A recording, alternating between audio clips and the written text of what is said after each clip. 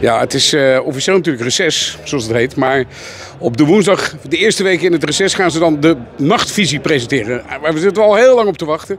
En vandaag is de presentatie daarvan. Laten we vooropstellen, we zijn al heel blij dat er een nachtvisie is. En hoe dat er allemaal uit gaat zien, gaan we nu zien.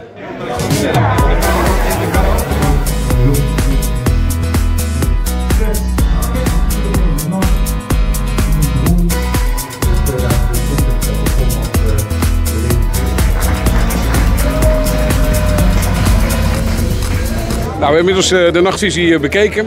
Er staan hele mooie dingen in, dus uh, laten we ook hopen dat het allemaal wordt uitgevoerd. Want daar gaat het natuurlijk om, hè, dat er mensen zijn die met ideeën komen om die nacht leuker te maken. En dan kunnen wij de gemeente eraan houden dat dat ook een keer gefaciliteerd wordt. Um, we hebben ook nog een bijzonder moment, want Pat Smith, de nachtburgemeester van Den Haag, die gaat afscheid nemen. Althans, die heeft zijn afscheid aangekondigd. Dus uh, we hopen hem zo nog heel even te spreken. Ik hoor net dat je afscheid gaat nemen als nachtburgemeester. Althans, jouw positie wordt weer vakant. Uh, ik wil je namens Hart van Haag toch ook ontzettend bedanken voor de afgelopen jaren. Want er is wel wat in gang gezet. En uh, ik neem aan dat je niet gelijk weg bent. Maar van waar de beslissing? Nou, zoals ik net ook al zei, uh, ik denk dat het juist onwijs motiveert als die positie vrijkomt voor, de, voor die nieuwe generatie. Weet je, dan heb je, heb je iemand aan het roer staan die dichtbij je staat. Ik ben toch al 44, wat ik net zei, de leeftijdsgroep 20-35 is toch de groep die het meeste uitgaat. Je hoort ook mijn ketting trouwens.